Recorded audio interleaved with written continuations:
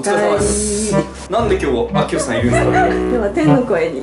鍵を借りたん鍵ですかを借りました。もしかして料理企画第2弾でございますか？はいそうです。今回はあの何を作ればいいんですか僕は？メニューは餃子です。餃子？ちょっと待って餃子ですか？マジか。ちょっと俺予想と違いますね。いや一応ですね、まあ、話は聞いてたんで調理器具は買ってきたんですけど揃えてきました。この間ちょっと少なすぎて紹介したいと思います。ざるなんか入れるやつ箸なんか水切りスタンドとかで計量えっとね水切りカムいやいるのかはちょっとわからんですけどキッチンタイマー。変えるっていうのはちょっと変える難しいんですけど冷蔵庫に。貼れるんですよ食材を見ていきましょう。これが今日用意されたんですか？そうです。絶対全部使わないでしょもうちょっと見てください。こう餃子なのにまたシチュー置いてあるし。あこれ残ったことあるひき肉ってやつじゃないですか？これ多分ね。ニラね、えーネギ。これ大事餃子の皮と、えー白菜、えーキャベツですね。片栗粉。片栗粉？なんだなんだこれ？こっちが調味料ですね。は、はい。いじゃあこれを使って今日はやっていきたいと思います。ちょっとあのまたちょっと1分間だけ電話していいですか？いいですか？はい。よし。前回はねあの材料しか聞けずに終わったんで今回は作り方っていうのをねちょっと今日聞きたいと思うんですけど電話ね誰にかけようかなやっぱね餃子といえばねおばあちゃんおばあちゃんがいいんでちょっとばあちゃんに電話かけたいと思います。はい。はい、ちょっと出てくれ本当に。あ出た。ごごめんねばあちゃん。急に電話して。あれ？もしもし？あすいません。お客さん来てるから。あれ？あのゆうやゆうや。あれ？もしもし？お電話切られ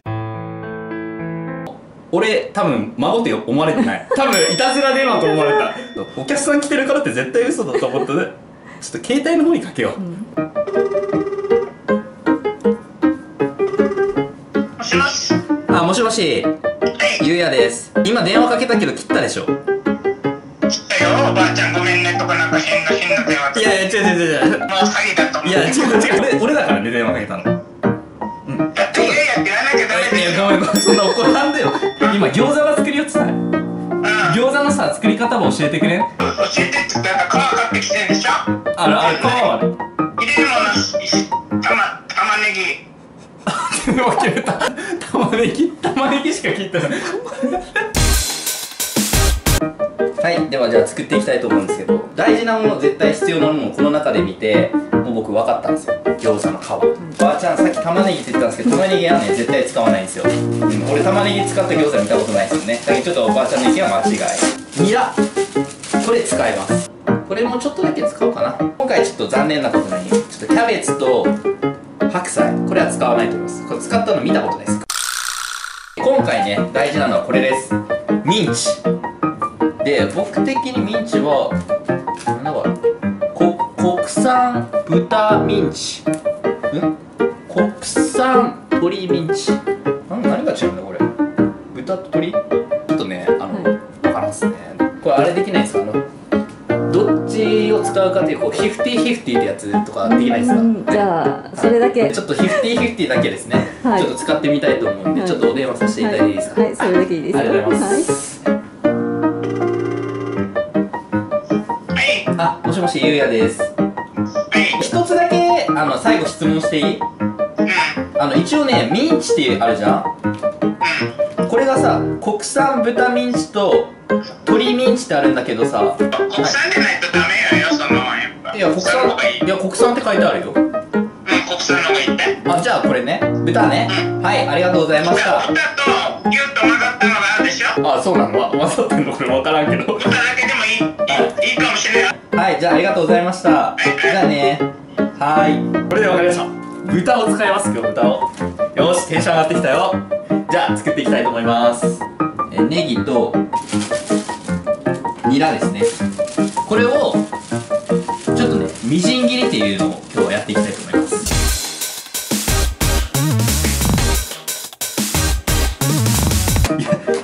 しよしよしよし切れてきたぞ。みみじん切り。ってやつですね。でこれいかに餃子の大事なところって餃子の皮をいかにこううまく包むかが大事なんでここであのミンチとかそういうのを使いすぎちゃうとダメですね。であと味付けって大事じゃないですか。味付けけ大事です、はい。味付け大事なんですよ。で味付けは何羽使うかによりますよねこれでニラが完成です。でニラもボウルに入れます。こう見るとねニラとネギでちょっとあんま違いは分からんですねこれ。でもなんかもうちょっと細かく刻んだ方がいいような気がするな。なんかねもうちょっとまあまあでも俺よくあのね餃子二の二の餃子とかね餃子の王将とかよく行くんでね中身はね大体何が入ってるか知ってるんでこれは合ってるはず。こっからが大事。ですこっから使うのがミンチです。もうここねヒント聞いたんで簡単です。はい。国産豚のミンチこちらを使っていきたいと思います。これ何個分ぐらいかな？でちょっとこれ。これをこの中に入れます。多分ねあの混ぜるんですよ僕的に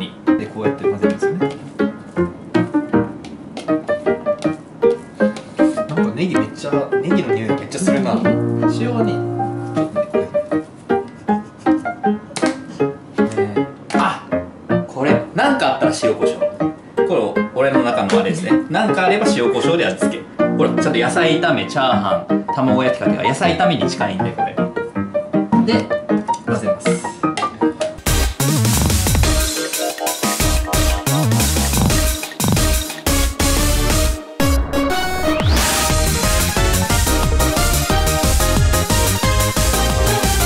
でここまでできましたと。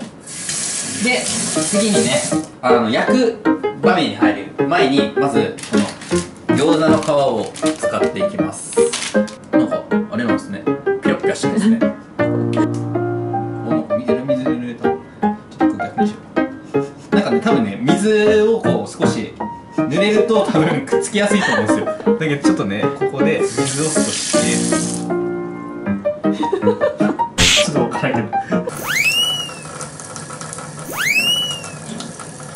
でちょっと濡らしてあげます。でここで餃子をじゃあ包みますね。